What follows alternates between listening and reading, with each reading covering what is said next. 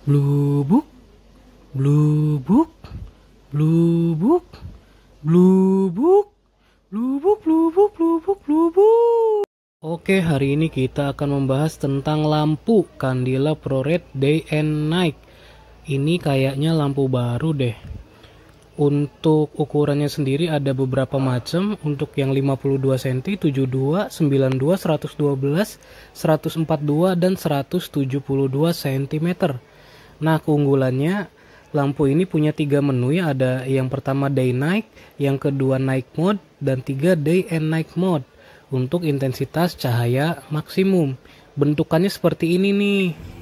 Nah, kita langsung cobain aja ya lampunya. Nah, ini mode yang pertama, mode day. Day apaan? Lupa dah. Oke, kita coba lagi.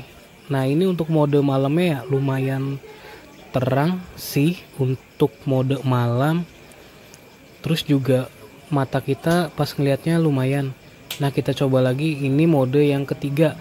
Menurut Mimin mode yang ketiga ini paling terang di antara kedua yang lainnya. Sekian dan terima kasih